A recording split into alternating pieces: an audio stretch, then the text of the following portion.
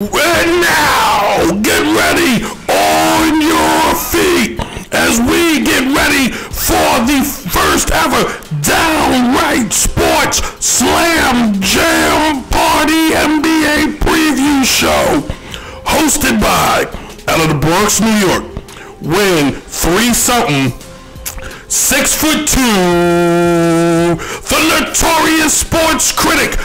Diddy, the man who says he runs his city, the Mr. Showtime himself, the Monday through Sunday delight, ladies and gentlemen, Brent Reid. Welcome.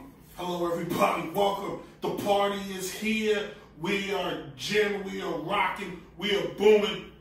Welcome, everybody. This is Downright Sports, uh, the radio, aka the podcast, if you will. A very special.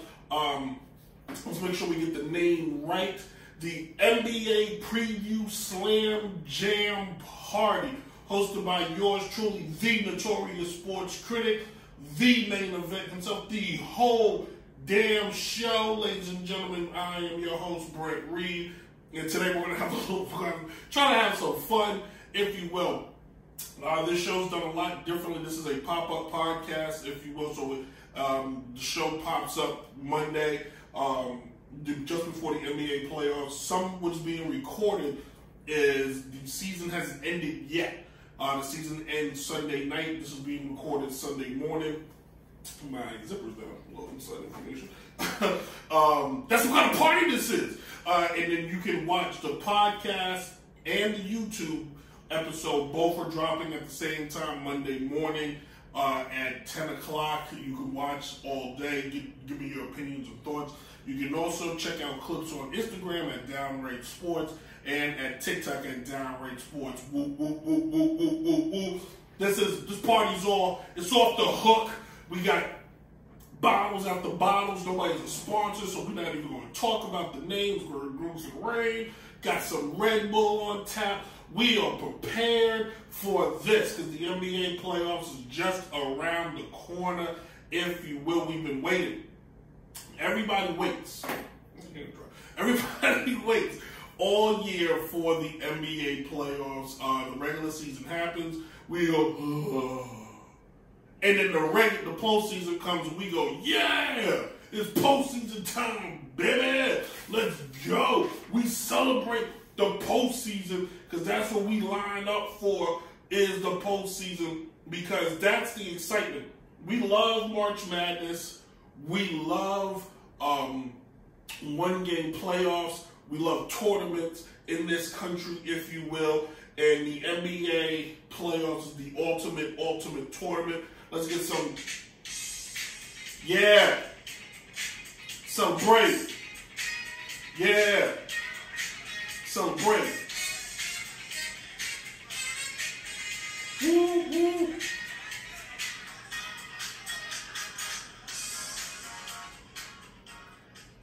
little cool in the game for you, if you will. But if you think about it, the NBA playoffs is the ultimate, ultimate play. It's the ultimate. Now, I like the old days, and I can say it because I, I remember, and some a lot of you listening should also. But when it's the, the format used to be, um, was it best out of five, best out of five? It was best out of five, best out of five, or uh, best out of five, best out of seven, best out of seven. That that best out of five, oh boy, Cats had to come to play in that best out of five. Nobody, everybody should remember one of the best ones when it was Miami versus the Knicks, and then best out of five, and Allan Houston hits the game winner. Miami was the number one seed that year. The Knicks beat them and went all the way to the finals to lose to San Antonio to start that, that Spurs dynasty, if you will. Um, you got great Bulls matchups from back in the day. Great uh, uh, matchups with Boston and Atlanta. This is so this this year to me, in my opinion, this will be the greatest NBA playoffs we have seen since the '90s. In my opinion, I don't think we've had a great playoff, uh, great series of playoffs in the last ten years because you can almost pencil in the finals every year. You can always just LeBron and whatever team of back of LeBron and whatever uh, team of um, ragtag uh, Suicide Squad members are with him, and then it was like it was Golden State for the most part. So it was LeBron and Golden State, and then before that it was still LeBron and the Spurs and the Lakers. Like that was how the finals broke down. But this year we may be seeing the the pass the crowning of new champions, new dynasties, new runs, if you will. So, with that being said, let's see who's in the playoffs. Starting with the East, even though my script. I'm gonna start with the yeah, start with the East. That's what the script says. The sunglasses is hard, can't see them. The party's too much, man. Too much. All right, in the East, you got the 76ers as the number one seed, Brooklyn Nets are the number two seed, the Milwaukee Bucks three. The Knicks are fourth. In fact, the Knicks win tonight. Um, if the Knicks beat Boston tonight, the Knicks will find themselves with home court advantage. Man, oh man, that's a show by himself. Julius Randle, we tip our hat to you, man. Thank you for restoring some order with the Knicks. I'm going on a tangent here, but there's a reason I'm saying it. Randolph wasn't some flashy free agent pick. Randolph is what Knicks basketball is represented. Grit, grimy, blue, just give me the rock, we going to work. Old school New York basketball, and it's one with defense. That, ladies and gentlemen, is Knicks basketball. Go get our hard hats as we go into work. Moving on. The Atlanta Hawks are five, the Miami Heat is six, the Boston Celtics are seven, the Charlotte Hornets are eighth, the Washington Wizards are ninth, and the Pacers are tenth. Uh, the uh, Celtics, Hornets, Wizards, and Pacers are all in that play-in series.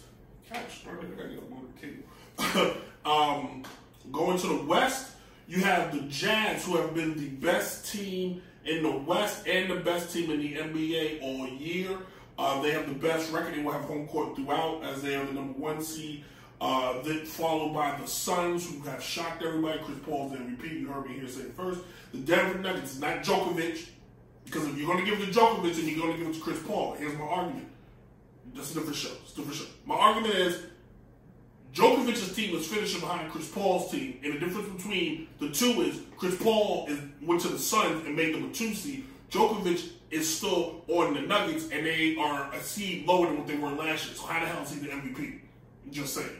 The Nuggets are three, the Clippers are four, uh, the Dallas Mavericks are five, the Trailblazers, and now here's the kicker: the Lakers won last night. The Lakers win today, and the Trailblazers lose. The Lakers will actually be the sixth seed, and the Trailblazers will be the seventh seed. We're going to do the show based on where the standings are right now. Uh, Golden State's eighth, Memphis is ninth, and the Spurs are tenth. Right now, the Lakers Golden State, Memphis, and the Spurs are all in the play-in games. So, what are the best storylines going into this, this playoffs so far? Well, basically, is LeBron James and the Los Angeles Lakers healthy enough to win, if, to make to make a run? Hell, to get out of the play-in game. The Lakers are going to play tonight. The, the whole Lakers squad is going to play tonight. We're going to see them all on the court. We're going to see LeBron and Anthony Davis trying to will this team a victory. But is it enough? Do they have enough in the tank? Do they have enough um, to get it done? Um, and then if they do, do they have enough to get past Golden State? These are all questions I'm going to answer in the second half. but uh, yesterday, the Lakers beat the Pacers, beat the brakes off the Pacers, if, if you will. Uh, but today, the Lakers will match up. Come on, come on, come on, come on, come on. Here we go. Uh, as the season wraps up today, the Lakers will take on the Pelicans a scrappy up upstart team. The Pelicans can just shake things up by beating the Lakers. Don't see it happen. But the Lakers will probably end up as the sixth seed, making the Trailblazers.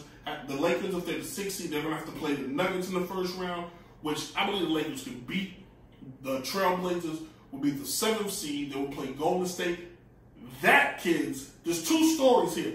If the Lakers play Golden State in the first round, get close to your television sets because that's a must watch. But the Trailblazers and Golden State, there's no love lost between those two teams. The Trailblazers are going to want to embarrass Steph Curry and the year he's having as the third runner up to the MVP award behind Julius Randolph. And um, in my opinion, and Chris Paul. But can you imagine Trailblazers make the seventh seed, which they still make the playoffs. It depends on where they finish. But you got Golden State. Golden State beats them. They flip flop. So Golden State now is the seventh seed, and now the Trailblazers have to play one more game, either against the Spurs or the Grizzlies, which I'm gonna touch on the next one. So a lot of storylines there. Out east is Brooklyn ready? Are they healthy? Are they full of caca? Is this team with the one of the worst defensive teams in the league currently right now? As we go to the paper, we put on the glasses for show. If you look, Brooklyn is 23rd in overall defense, allowing 114 points per game. If the playoffs started today, the Brooklyn Nets would play one of the play-in teams, which would probably more than likely be Washington, or would more than likely be I didn't know was going would more than likely be Washington or Boston teams offensively. Washington offensively is ranked 10th. Uh, so you're going to tell me a team that is ranked at the bottom may not be set up for failure. Now, playoffs is where teams come to show. They got DeAndre Jordan, they got some other guys, and they got uh, Blake Griffin. But for Brooklyn, here's the real storyline. Kevin Durant's a champion, and so is Kawhi Irving. Kevin Durant's a champion two times over Kawhi Irving. Kyrie Irving was a champion once. James Harden has a lot to prove here. Blake Griffin has something to prove. DeAndre Jordan, Steve Nash. These are all guys that have never won a championship, and they're going to have to try to get it done in a, in a league where the 76ers have been quiet on you, in a league that the, the, Greek Freak is called his own, in a league where the Miami Heat is really sitting back saying, we were in the championship last year. Why is nobody paying us any attention? So, could Brooklyn find themselves losing in either round and just be the biggest disappointment with the best penciled in roster in potential NBA history. So we'll see how that goes. And then the last storyline is the Knicks are back in the playoffs. This is good for basketball. This is good for America. This is good for the world. Why? Because basketball in Madison Square Garden is supposed to be played all the time, every time. That arena, and Ramsey, if you're watching or listening to the show, you know what I'm talking about. The arena where it's dark. The only thing you can see is the players because it's Broadway. Nobody wants to see the fans. You go to LA if you want to see the fans. You go to Oklahoma if you want to see the fans. But you come to New York to watch the game on the court where the best of the best get it done, where there's been countless memories, countless times, whether it's uh, the, the captain, Willis Reed, coming through the tunnel, whether it's Michael Jordan making his first game appearance, whether it's the Bulls, Jordan baseline dunk, whether it's Patrick Ewing um, hitting game-winning shots or missing the game-winning layup. Reggie Miller, the famous choke game. Charles Smith, the biggest choker of all time. The Bronco chase.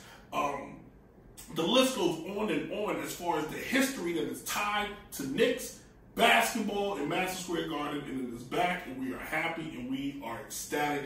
Thank you, um, thank you, God, for giving us what we've been asking for for nine years. A steady, strong New York Knicks team coached by Coach of the Year, Tom Thibodeau. Don't you dare give it to somebody else. The Knicks were trash last year, and they are in the fourth seed. This ain't the NFL where you go from first to last. No, that's not how this goes. Anyway, um, when we come back, we're going to talk about the matchups as we play a little bit of poker, if you will. Will I fold or will I bet it all? In the next segment that we have. If you're listening to the podcast, we're going to throw on some OC featuring Big L. Also, we're going to close the show out with my man, the one, the only DJ Chase. DJ! There it is. We got a little DJ Chase right there. So we're going to come back and we're going to wrap the show up as we as I pick the playoffs. Because this is a party, everybody. We are excited. We are hyped. What happened to my phone? the music was being played on. Oh, this is like what happened to the phone. That was crazy. The phone just walked away and disappeared. I can't believe it. You do 80s parties? I'll do some I'll do some 90s. I'll research.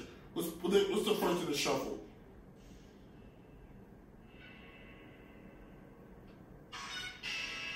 No, no, no, no. Yeah, little Stevie Wonder. This is how we wrap it up. We'll be right back. Baton Sports.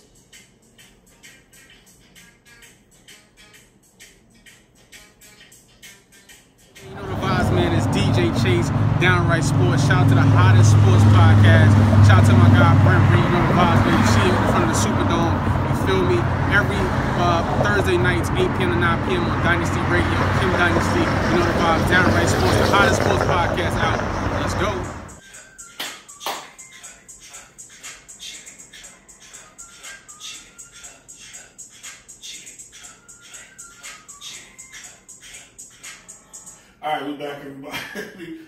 We are here for the NBA Preview Slam Jam Extravaganza. Woo, woo, woo, woo, woo. Now, let's jump into it. Let's figure out as we try to recreate a game we did a long time ago called Fold'em, or Better All, or Fold'em. I think I had a different name.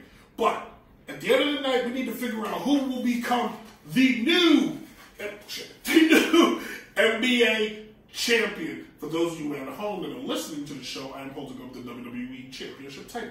So, um, and listen as a podcast, and it's also visual, so on YouTube to see what happened. Now, last year's champions, of course, were the Los Angeles Lakers, as they did it in the bubble, and like no other, the most difficult championship ever won. Okay, so they said.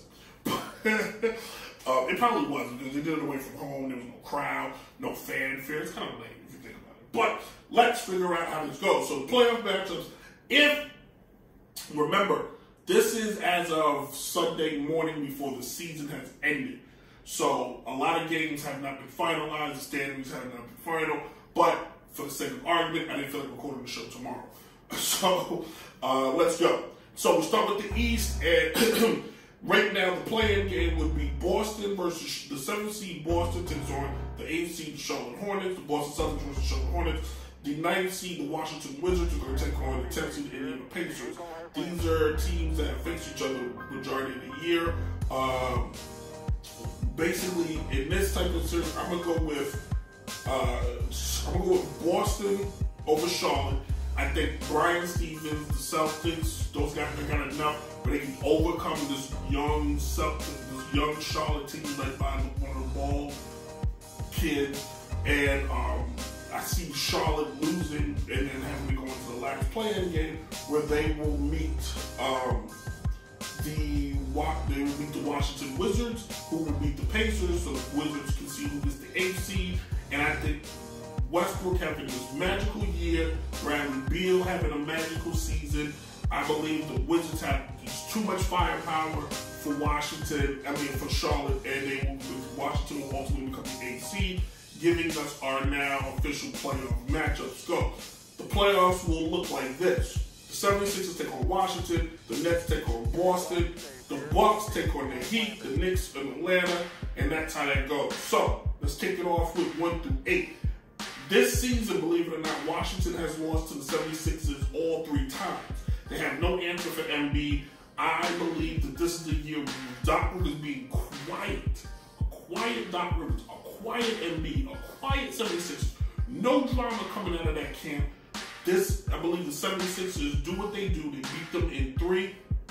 If I had to place a bet, I'm all, I'm, I'm, I'm putting some, I'm putting a lot in there. I'm all in on this hand right here, and I'm going with the 76ers over the Washington Wizards in four games. Now, going to the uh, two versus seven, the Nets versus Boston. Boston has not beat the Nets all year. Why? I believe Kevin Durant is enough to get past the Brooklyn Nets in this first round. Um, they won't need, I think, James Harden and Kevin Durant may be too much for, Boston. Boston, in my opinion, never did what they were supposed to do. They never went out and got a, they never went out and got a bona fide point guard. They never went out and got a bona fide scorer. Yes, Jayson Tatum was a great player, but they never went and got him a true, like, a true play, a guy that can just stand the test of time. They failed when it was time for them to go get some talent, and when guys were getting cut, they should have pursued uh, getting, uh, in my opinion, uh, uh Kevin Love could have been the difference maker in that team. A make a break, I believe, but they, I don't know what they're sitting on their hands and doing. So I am, I believe Brooklyn beats them four. I am all in on. I'm putting, I'm putting some more money in on uh, on uh, Brooklyn and beating them in four. Moving on, the Bucks versus the Heat. This two this this series is now. Uh, I want to say the Bucks won last night. If I'm not mistaken, give me scores, give me scores, give me some scores, give me games. Can I do last night? Yes, here we go. Um, when I was, no, they didn't play till last night. Miami beat the 76ers last night. Uh, this is all wrong. Do they play till the tonight? They do.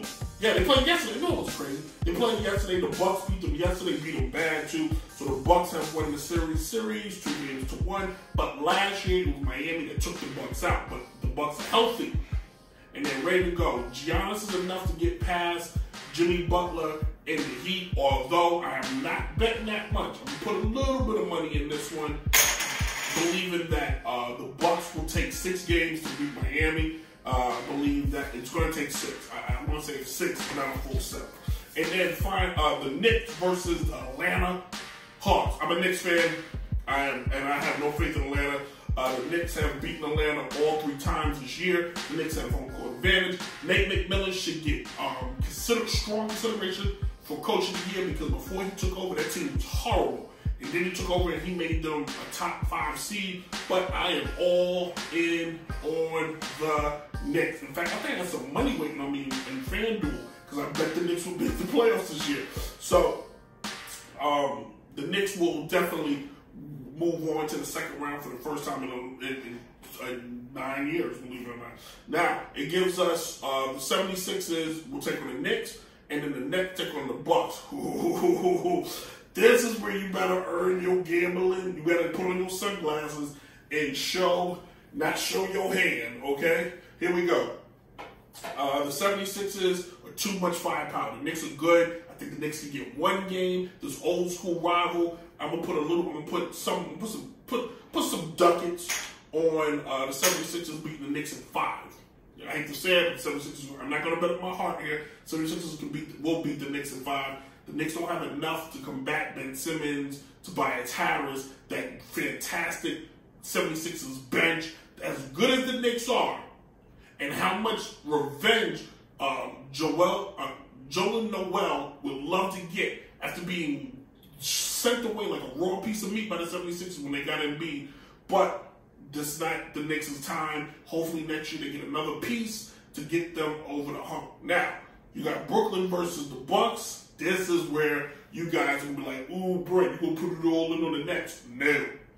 I will bet strong and heavy on the Bucks stuff. I think the net. This is where the Nets. You find out if James Harden is is he is he real or will he turn into a wooden boy at the end of the night? And I think this is where Brooklyn, not being a very good defensive team, taking on a Bucks team that is a strong defensive team. The Bucks are they're not a strong team, but the Bucks they're at least right ahead of the Nets, but not by much. And that's a bad argument. So this series will go seven, and I'm gonna give it to the Bucks because they need to get their face back. They've been quiet all year too. And then the Bucks and the 76ers will face each other in the Eastern Conference Finals for the first time since 2001 when it was Allen Iverson versus Ray Allen. And Allen Iverson willed that 76ers team to the finals. And I think this year, Joel Embiid, who's been quiet, should get strong consideration for MVP. But this year, I put all my chips on the 76ers going to the NBA Finals and representing the East. So, how cool is that, right? Now, let's talk about the West. Let's talk about the West, baby. Let's talk about you and me. All right, so we look at the West. And right now, again, this is at the standards uh, right now. You have the play-in game would be the Lakers versus Golden State and Memphis versus the Spurs.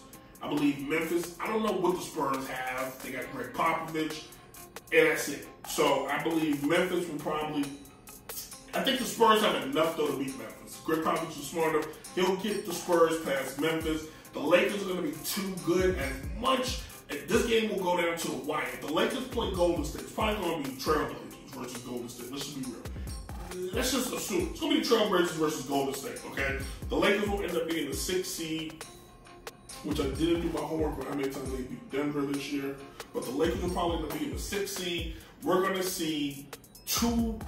We're to see some of the greatest basketball in hundred years when the when Golden State played Portland for that play-in game. And I think Steph Curry goes off. I think he has 55 points against the Trailblazers, while Damian Lillard drops 60 and it's just not enough. But Golden State will win, um, moving them on to be in the seventh seed. And then now you have the Spurs versus the Trailblazers. The Trailblazers have way too much. The Trailblazers will become the eighth seed, and then the Trailblazers will end up playing the Jazz in the first round, and then Golden State will end up playing the Suns. Now things get good. You're gonna just change stuff on the fly. So if we down the number one seed, the Jazz, when they're facing the Blazers. Number two seed, the Suns will face Golden State. The number three seed, Denver Nuggets will play the Lakers. The sixth seed and the fifth seed, the Clippers will take on the Dallas Mavericks. We're gonna we're gonna start one through, we're gonna start one and eight. That's a good matchup. Um, it's a mismatch across the board for everybody. Could I see an upset there? Possibly, but I'm gonna say the Jazz, Devin Mitchell, Rudy Gobert, that defensive, the strong defensive team. They've been a great team all year. Defensively, they're third in all of NBA, while the Trailblazers are 22nd in um, this offense, yeah, in defense. So the, go, this is the year the Jazz put it together to get past uh, the, the, Blazers. I believe the Jazz will probably beat the Blazers. Probably six games. The Trailblazers are good enough to get at least two wins. All right, Suns versus the Golden State uh, Golden State Warriors. This is the, the, series where Chris Paul gets his face back. Yes, Steph Curry is good enough to win the one game, but I got the Suns winning in five.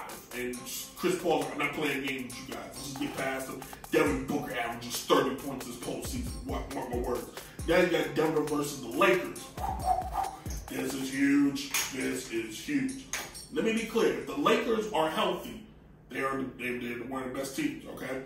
You got Denver. I have no faith. So I'm just gonna be clear. Lakers beat them in five. And I know you're like Brent. What? You see who Denver has? Yes. Lakers beat them in five. Moving on. The Clippers versus Dallas. Uh, well, Clippers win this one in four. This is not even a joke. Clippers just sweep them, bust that butt, and moving on. Moving on to the next round where we have the Jazz take on the net, the net, the, uh, the Nuggets, and the Lakers take on the Clippers. We're gonna save you an argument here, and I'm all in on two game sevens. Two game sevens, okay, where the Jazz will overcome.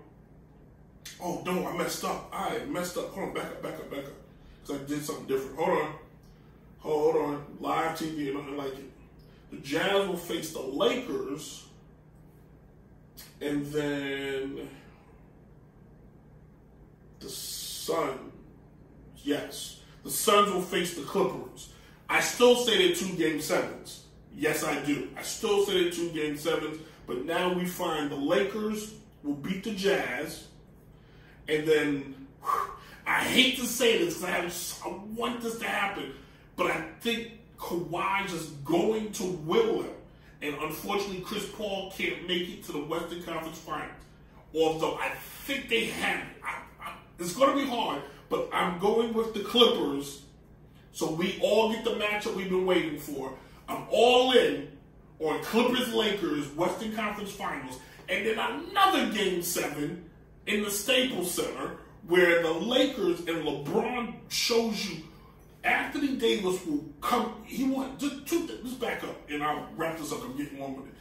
Two things will happen this postseason. Anthony Davis will have his coming out party where he will say, "I don't give a damn how hurt I am. I'm going to win this game. I'm winning this championship on my back. LeBron, you help me." Or LeBron, in one last hurrah, Logan style, if you will the last uh, the uh, last gunslinger. LeBron James, you could date him back almost to the 90s as far as his style, you know, from what he was trained on.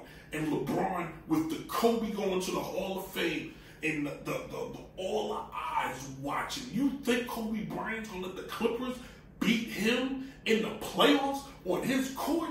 No, sir, not today. And LeBron James does the same thing. He just goes, you know what?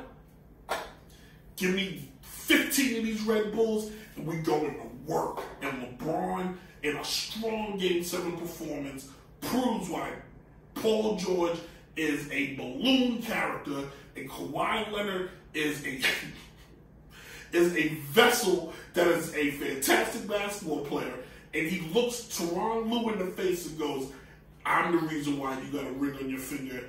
That's the only reason, and always remember that. And LeBron gets the Lakers back to the NBA Finals, and he puts himself in rare air. Now the conversation is who's truly the best, because the man, will rename the NBA Finals. It will be, it will be, a, it will be a dual name. It will be the Bill Russell LeBron James NBA Finals because nobody had gone to the finals more than these guys that didn't sit the bench. Okay? And the NBA championship will be the Los Angeles Lakers versus the 76ers. And the 76ers win it in six games because the Lakers are out of gas. And I'm all in on that. No need to fold, kids. No need to fold. I'm all in. 76ers will be your new NBA champions um, at the end of when it's all said and done, barring any injuries, all right? Barring any injuries, they will be the team to win it all. Joel Embiid will be the league MVP. I mean, be the finals MVP. Champagne will fall from the sky. Yada, yada, yada, yada, yada. The Migos will perform.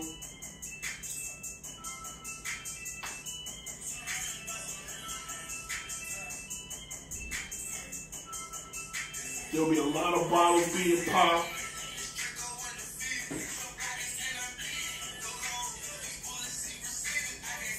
And they will, everybody will be able to celebrate that way. And that's my pitch.